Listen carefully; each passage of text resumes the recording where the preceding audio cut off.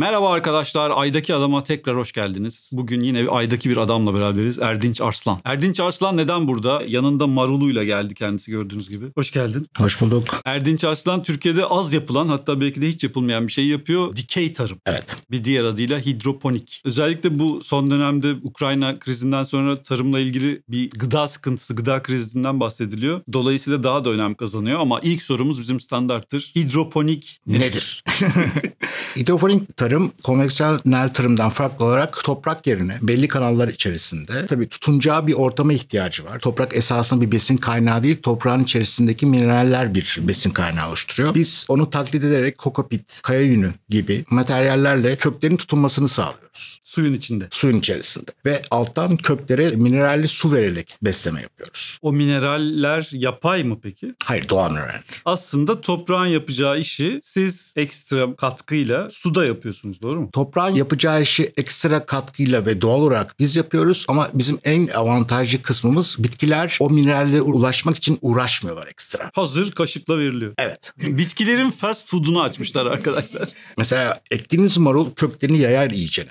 Normal toprakta. Ama bizde öyle bir şey olmuyor. Bizde normal yer çekimiyle davrandıkları gibi davranıyorlar. Çünkü bir şeye ulaşmak için çaba sarf etmiyorlar. Hem stres yaşamıyorlar hem de daha çabuk, daha hızlı ve sağlıklı büyümesini sağlıyorlar. aslında bu hakikaten tavuk çiftliği açmak gibi bir şey. Ama bunu marul için yapıyorsunuz. Tavuk çiftliği daha sert bir konu. Veganlar falan tabii çok kızıyorlar ya haklı olarak orada. Burada çıkan şey ne derece doğal diye bir soru gelecektir. Evet, tabii ki. %100 doğal mı? Yani sentetik Doğal ve organik konusu benim en büyük kavga ettiğim konulardan bir tanesi ve karar veremediğim konulardan bir tanesi. Tüm dünyada da bence çok net karar verildiğini düşünmüyorum organiklik kısmında. Doğallıktan, organiklikten daha çok bence iyi tarım dememiz. İyi tarımı da ben sadece bitkinin iyi olmasından bahsetmiyorum. Kullandığınız suyu azaltmanız, işte karbon ayak izini azaltmanız, ilaçlama kullanmamanız gibi Ha yorumluyorum. onu soracaktım. Yani kimyasal kullanmıyorsunuz. Hiçbir şey. Çünkü kapalı ortamda yapıldığı için böcek yok, bir şey yok. Evet kapalı ortamda olduğu için aynı zamanda toprak olmadığı için bir bakteri mantar üre- üreme şansı oluşmuyor orada. Bir de bizim ortamımız steril, HEPA filtreli ve ozonlu ve UV lambalı şey hava Ha, temizleme cihazı hiçbir şey girmiyor. hiçbir şey girmiyor.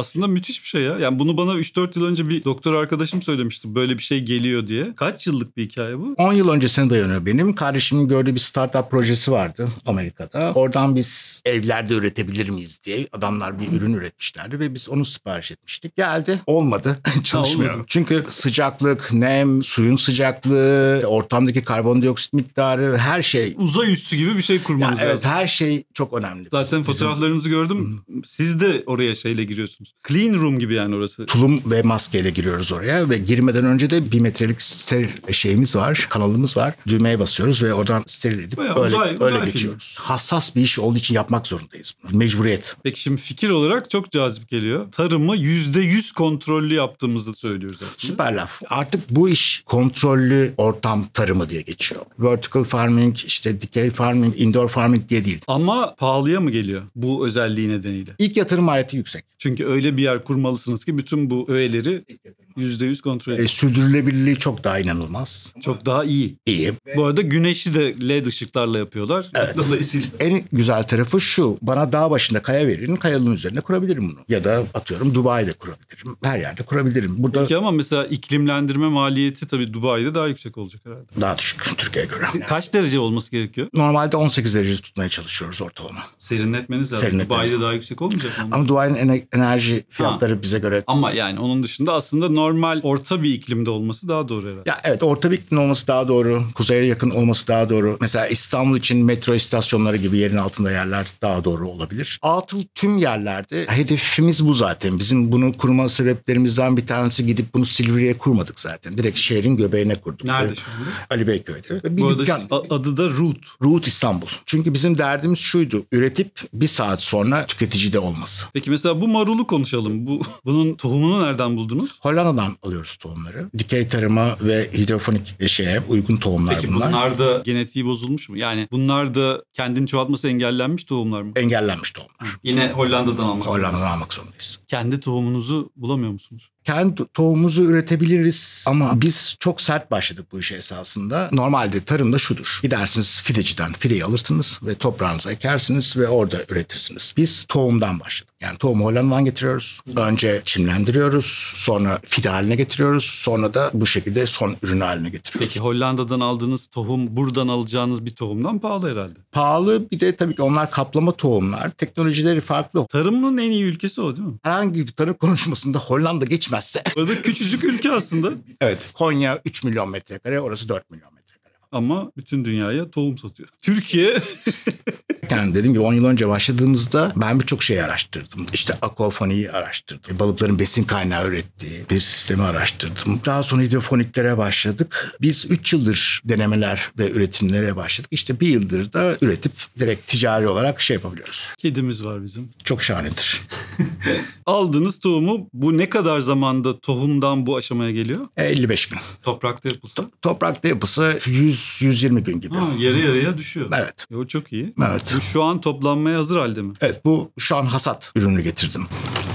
Ha bu. Marul için ihtiyacı olan besini toplayan bu kökler. Yani toprakta da çıkarabilsek böyle bir şey mi görecektik? Topraktakinde birazcık daha genişleyen bir şey görecektik. Toprakta şöyle bir problem var. Vitamine ulaşmak için kökler gerçekten uğraşıyorlar. Yani yaşamak için yaşamak için uğraşıyorlar ve dağılıyorlar. Burada öyle bir dertleri yok. Hazır senin biraz önce bahsettiğin gibi direkt maması Evet. e, direkt maması Kedi su- gibi. suyun içerisinde. Yalnız çok güzel görünüyor. Evet. Tabii. Tadı da daha iyi herhalde. Tabii daha iyi. Çünkü ihtiyacı kadar veriyoruz biz her şeyi. Ben ne zaman böyle bir şey duysam hemen şunu düşünüyorum. Niye bütün dünya buna geçmiyor? Geçiyorlar bence. Yavaş oluyor. Çok hızlı büyüyen bir sektör. Şu an 2 milyar dolar. 2025'te 19 milyar dolar olacak. Projeksiyon. Ee, projeksiyon. 2050'de de 30 milyar dolar gibi gözüküyor. İngiltere'de belli bölgeler var ki biz de onlarla görüşüyoruz zaten. Orada bir proje yapmayı planlıyoruz. Yorkshire bölgesinde 8 üniversitenin ve STK'ların oluşturduğu bir grup var. Ve onlar o bölgede buna yatırım yapıyorlar şu an. Çünkü artık nakliye fiyatları çok yüksek olmaya başladı ve insanlar da kendi topraklarında bu işi halletmek istiyorlar. Evde yapılabilir mi? Yapılabilir çok rentable olacağını düşünmüyorum ben. Ama yok. Hani hobi olarak bir süre. Hobi olarak tabii yapabilirsiniz. Ama yeteri kadar verim alamaz diyorsunuz. Çünkü o hijyeni sağlayamayacak. Zor. Çünkü çok nazik arkadaşlar. Yani stres gibi şeyler çok önemli bunun için. Öyle mi? Ne gibi stresler? Biz ilk başta şöyle yapmıştık. Sistemimizi ekiyorduk, ilerletiyorduk, bir daha ekim yapıyorduk. İlerletiyorduk, bir daha ekim Yani- yapıyorduk. Ve 35 gün sonra da oradan hasat almayı. Ama baktık ki köklerin o hareketi stres yaratıyor. Ürünlerde. Oynamamak istiyor. Oynamamak Şimdi istiyor. siz bunu kaldırdınız bu üzüldü belki. Aynen öyle. Öyle mi? Şaka değil ama öyle yani. Net öyle yani. O zaman yiyelim de o üzüntüsü tam geçsin. Tadına bakabilir miyim? Tabii lütfen. Peki şeymiş. Ha, ilaç milaç zor. Wow. Şahane. Reklam gibi oldu ama.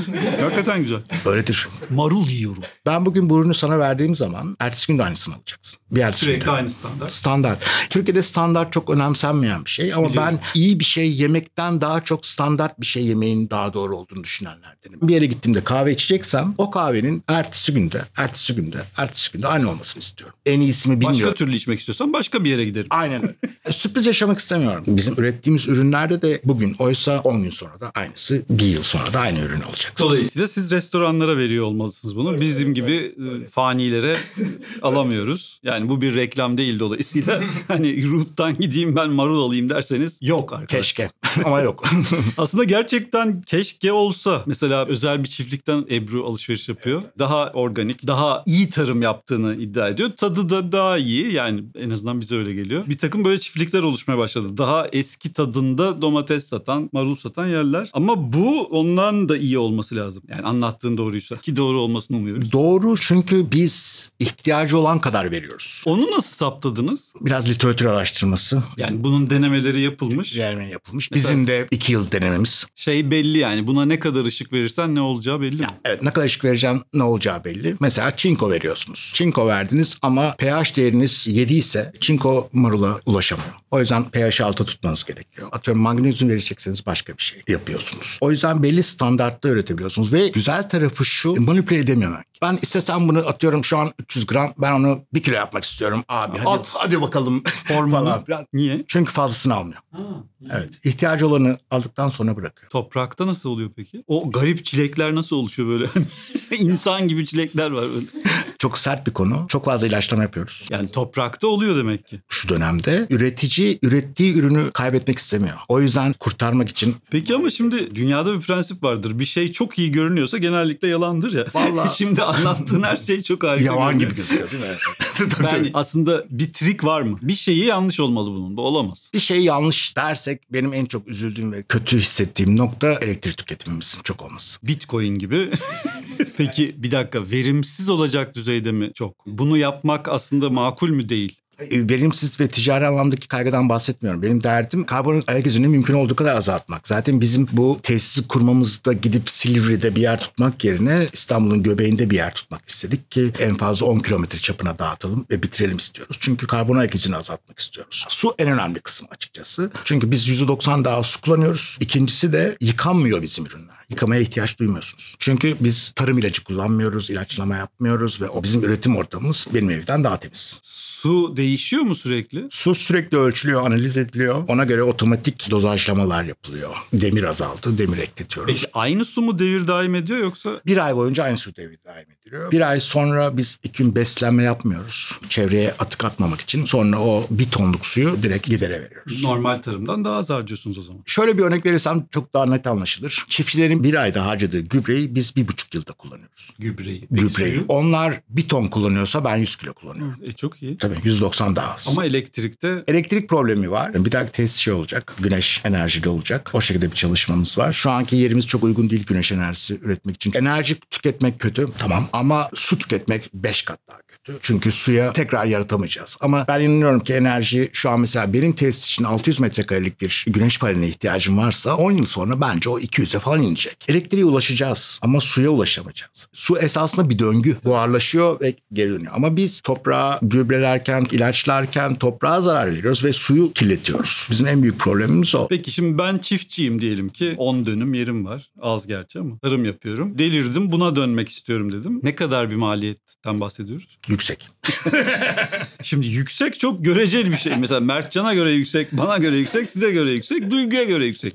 Duyguyla Mertcan aynı. Evet yüksek ama zaten 5 yıllık uğraşımızın sebebi oydu. Biz gidip bunu bir Hollandalı firmadan satın almaya kalksaydık atıyorum 3x lira mal ederdik. Şu an biz üçte bir maliyetine mal ettiğimizi düşünüyoruz. Siz Çin gibi yaptınız yani. Çin gibi yaptık. Peki çaldınız mı? Ne yaptınız teknolojiyi? Şeyi bir kere çalmadık. Sudaki oksijen miktarını arttırabilecek biz yeni bir şey yaptık. inovasyon Konstru- yaptık. Evet, inovasyon yaptık. Konstrüksiyonlar, işte sulama sistemleri onların hepsini biz kendimiz yaptık. Tamam baktınız tabii. Evet. Peki patentli mi bu? Patent alamazsınız böyle bir şey. Onlar da almalı. Kimse alamaz. Peki saklıyorlar mı veriyi? Vermezler. Nasıl öğrendiniz? Gizlice. Çok çok çok literatür ama en çok dayak yiyerek. Ya, Olmadı, yapamadık. o Tekrar yüzden şunu de tabii maliyetiniz arttı. Tabii. O 3 yıllık deneme sürecimiz zaten problem oydu. Şöyle bir örnek anlatayım. Problem yaşadık ve hidrofonik tanımı bilen 4 tane mühendis çağırdık bizim tesise. Geldiler. Havadan olabilir, nemden olabilir, sudan olabilir, suyun sıcaklığı olabilir deyip gittiler. Biz de teşekkür ettik. Sonra işte hepsini tek tek kriterleri değiştirerek bir kriteri değiştirdiğimiz zaman bizim bunu görmemiz 20 günümüzü falan alıyor. Ertesi gün sonucu görmüyoruz. En az 20 gün. 55 gün beklemeniz lazım. Evet, 20 günde anlıyoruz az çok. Peki şey olabilir mi? Marul bir anda diye sönebilir mi yani? Hani Söner. öyle mi? Eve götürünce sönüyorsa o kötü yani. Soner mesela biz ilk şeyde ışığı yüksek yapmıştık fideleme alanında ve baktık aa şahane büyüyor abi bunlar falan diyoruz. Meğer ağaç oluyormuş. Ağaç olmaması gerekiyor. Fazla vermiş. Çünkü hayır ışığa ulaşmak istediği için yükseliyormuş arkadaş. O yüzden biz onları indirdik. Peki yine de benim 250 metrekare bir yerim var. Yapmak istiyorum. Kaç paradan bahsediyoruz? Kabaca. 250 metrekare bir yer. Bir de ne verim alabiliyorum tabii yani. Marul ekeceğim Ya oraya. şeyi söyleyeyim bir kere maksimum 3-3,5 yılda geri dönüş alırsınız. Yani yatırım Yatırım. maliyeti. O Bu çok iyi bir oran. iyi bir oran. Normalde 7 yılda yani şunu demek istiyorsunuz ben atıyorum 1 milyon TL koydum 3,5 yıl sonra bu 1 milyonu geri kazanmış oluyorum. Evet ve elinizde de öyle bir tesisiniz oluyor. Ondan sonra da kara geçiyor. Kara geçiyorsunuz. Karlılığı yüksek mi? Yüksek. Bizim en büyük problemimiz enerji fiyatlarının şu an artması. Ama dolaylı yoldan evet bizim elektrik fiyatımız arttı ama mazottan dolayı ürün fiyatları da zaten artıyor ve sürekli artmaya devam edecek. Burada 2-3 şeye önem vermek gerektiğini düşünüyorum. Bir, su. Benim en önemsediğim şey o. Suyu kirletmemek, az su kullanmak ve yıkamamaktan dolayı sıfır su kullanmak. İkincisi 900 kilometreden ürün gelmesini istemiyorum. Biz bunu şehirde halledebiliriz. Yani İstanbul'da marulu biz çözebiliriz bu şekilde tesislerle. Birçok firma bu işe girerse. Dördüncüsü de ilaç kullanmamamız.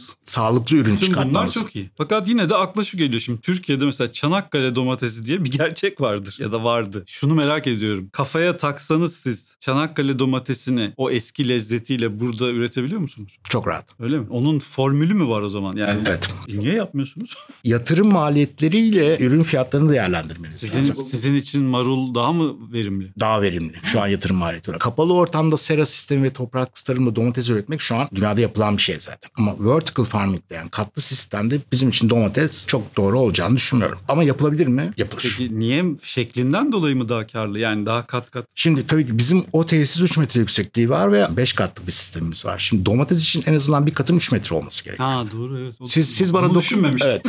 siz bana 9 metre yükseklikte bir yer verirseniz 3 kat yaparım. Ama ışık da ona göre. Işık da kullanılacak. O zaman bodur bitkiler için bu. Bodur Ya- sebzeler için. Ya hepsi için mesela bunu Türkiye'de yapmak çok doğru olmayabilir domatesi. Ama mesela Dubai'de yapmak çok mantıklı olabilir. Bir de onu soracaktım. Bu tavanı açsanız bir nevi sera gibi olsa olmuyor değil mi? Işığın da kontrollü gelmesi lazım. İşte bizim derdimiz şu kontrollü tarım denecek artık buna. Yani artık her şey kapanıyor. Kontrollü 365 gün istediğin ürünü istediğin verimde istediğin tatta ve lezzette üretiyor olmak. O yüzden hibrit bir sera yapar mısın diye sorarsan yapılabilir. Ama, Ama, kontrolsüz olacak. Gerçi Dubai'de kontrollü olacak. Dubai'de mecbur.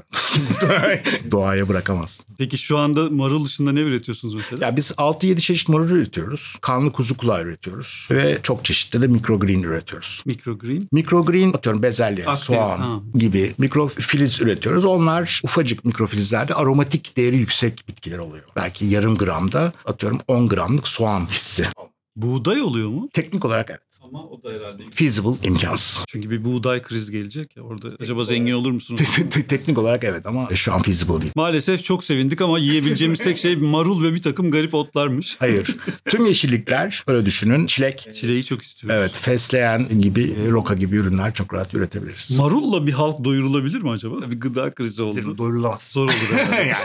Ekmeğin arasından marul yiyip yemek üretin. Evet mesela biz bunu hibe olarak Afrika'ya vermek istiyoruz. Diyelim marulla olmaz.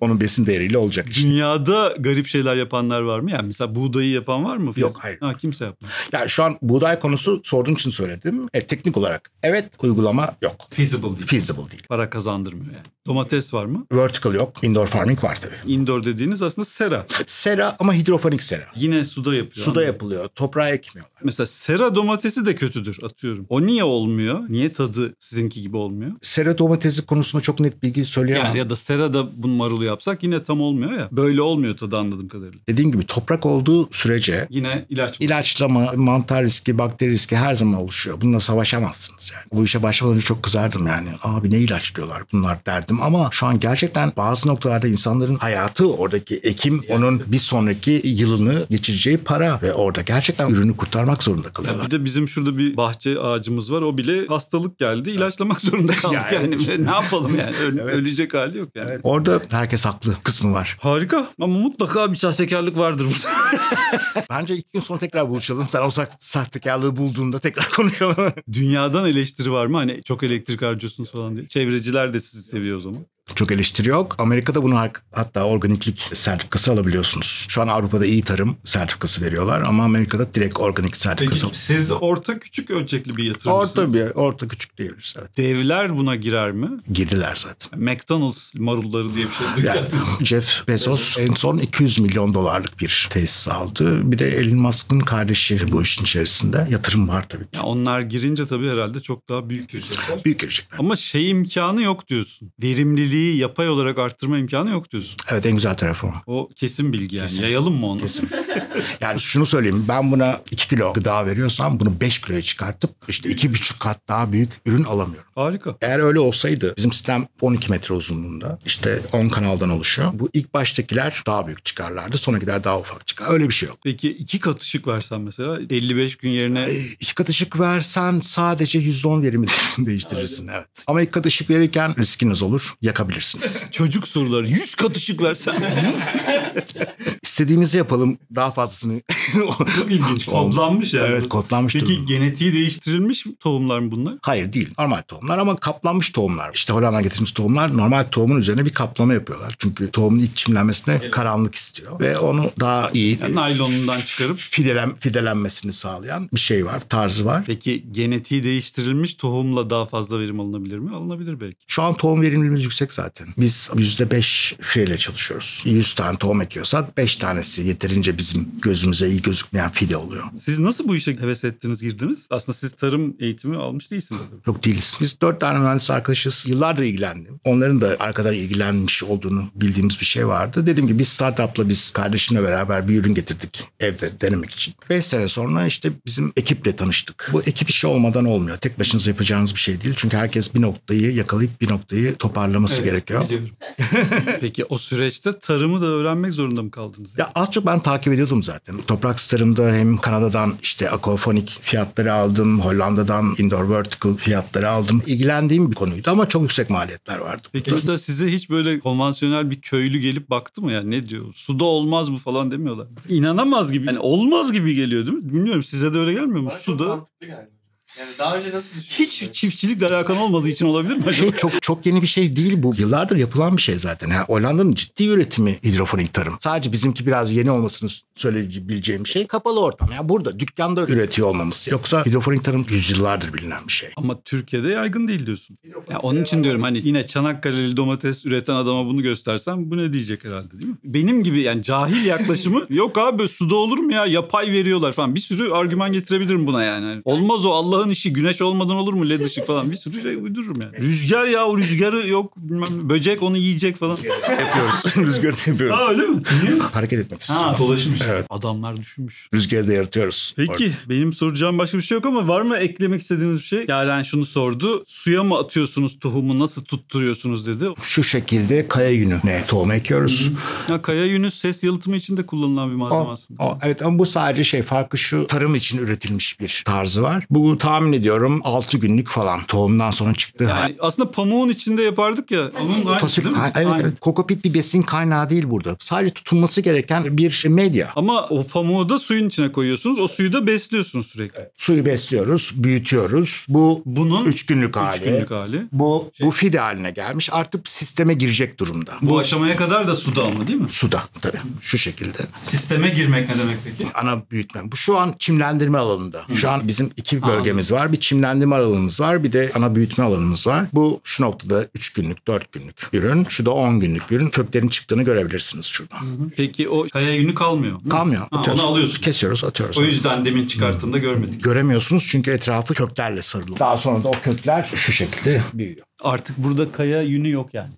Kaya ürünü şurada. Ta içeride kaldı o. İçeride kaldı. Yerken kaya yününü yememeye çalışın. Son soru şeyi sorayım. Aslında halkın en çok merak edeceği şeyi bu marul marketteki manavdaki maruldan daha mı pahalı? Evet daha pahalı. Ne kadar daha pahalı? %50. %50. E pahalı. O zaman ben niye alayım bunu ya? Bir bu ürün atıyorum Bu dayanım, arada sü- zaten satılmıyor yani. Evet. Almıyor. dayanım süresi çok fazla. Ha öyle mi? Tazeliği çok fazla. Evdeki en büyük problemlerimizden bir tanesi biliyorsun. Bir salata yaparız. Salata için bir sürü bir şey alırız. Rokatsını alırız ve işte bir tane salata yaparız. Sonra geri kalanın %50'sini de çöpe atıyoruz. Bu tür yeşil taze ürünlerde nakliye sırasında fire inanılmaz fazla. Yaklaşık %15 falan. İşte biz onların hepsini engellemek derdindeyiz. Evet %50 daha fazla para vereceksiniz diye düşünün ama daha taze, daha lezzetli, yıkamayacağınız Evet ya yıkama derdi yok çok iyi. ve gönül rahatlığıyla diyeceksiniz ki bu üründe tarım ilacı yok. Benim yıkamamın sebebi kirlilik değil. Ben tozdan korkan bir adam değilim. Benim oradaki derdim kimyasal. Bütün tarım buna döner mi bir gün? Dönecek. Buğday da dahil mesela.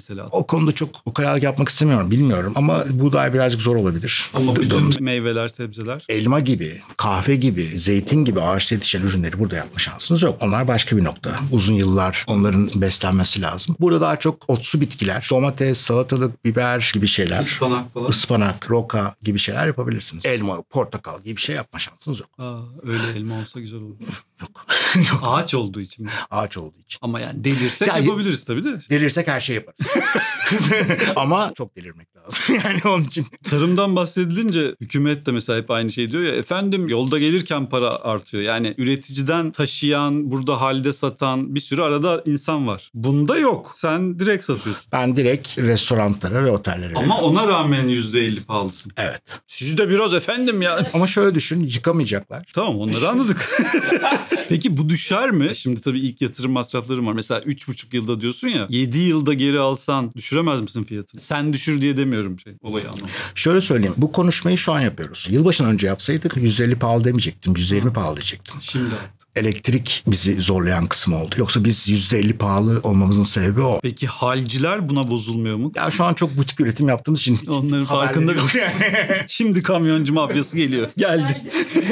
Peki çok güzel bir şey. Tabii yani hiç bilmediğim bir alan olduğu için siz ne derseniz ona iman ettik. Varsa seyircilerimizden vardır şimdi aldı. O öyle değil falan bizde çok oluyor öyle. Varsa onlardan onları da bekleriz. Burası bir platform. Aydaki adam platformu. Bizim buradaki amacımız sadece Türkiye'de ürün satmak yerine e, projemizde yurt dışında mesela şu an Hırvatistan ve İngiltere ile görüşüyoruz. İşte Katar'a bir teklif verdik. Projeyi ihraç etmek istiyoruz biz. Ben de mesela kuracak olsam sizden danışmanlık alabiliyorum. Belli bir ücret mukabilinde. Danışmanlık alıyorsunuz ve oraya bir supervisor atıyoruz. Bir sene boyunca orada çalışıyor gibi. Ama bu de- değerli bir bilgi var burada yani. En önemli şey o. Ben uğraşacağım. Yoksa şey raf sistemi dediğin iki tane kalasla raf yaparsınız yani. O tür raflar yapan insanlar var Türkiye'de ama başka amaçlarla yapıyorlar. Şey yapmayalım. Yani oradaki raf sistemi ya da ışığı koymakla bitmiyor. Orada esasında altında edindiğiniz birçok dayaktan sonra öğrendiğiniz şeyler var. Türkiye'de sen de aynı şeyi yaşamışsın. Ben de yani bir şey öğrenirken hep dayak yiyerek öğrenmek zorundasın ya. Mesela şimdi 3D printer aldık. Mertcan arkadaşımız 6 aydır. O dayak yiyor yani dayak yerken işte yapıyorsun olmuyor falan. Hep adım adım öğrenmek zorunda kalıyoruz ya. Türkçe literatür yok. İngilizce bilmiyorsan ulaşamıyorsun falan. Bu konuda da yoktur herhalde. Aslında Türkiye'nin en büyük problemi ekonomi falan değil bu. Bilgi üretmek ve o bilgiyi dolaşıma sokmak konusunda. Bir de bir şey problemi var. Gerçekten bu bilgiye ulaşmamız bizim denememiz 3 yıl boyunca çok maliyetli. 3 yani yıl sizin yaşamanız lazım bir defa. bilmiyorum yani biz bu işe başladığımızda %17 idi elektrik maliyetimiz. Şu an %70 maliyetimizdeki elektriğin şey aldığı yer. Bu bizim öngörebileceğimiz bir şey değil. Devlet niye bunu sübvanse etmiyor? Ettiği söyleniyor ama benim için en kıymetli şey zaman. Devletle çalışmaya başlasaydım yani büyük ihtimalle beni bir, bir buçuk yıl Yok ama dünyada da mesela devletler sübvanse Destek etmiyor. Ediyorlar. Ediyorlar, Her türlü. O yüzden İngiltere ile görüşüyoruz zaten. Gelişmiş ülkeler ve gelişmemiş ülkeler. Gelişmekte olan, gelişmekte olduğu iddia edilen ülkeler. Ya üzücü tarafı mesela mevzuatta şu an bizim yerimiz yok. Bizim de. Tarım mevzuatında. Biz neyiz şu an belli Yani tarım, tarım mevzuatında şu an benim açtığım yerin şeyi yok. Biz kanal mıyız neyiz ne oluyor kim bu sahibi kim ne oluyor?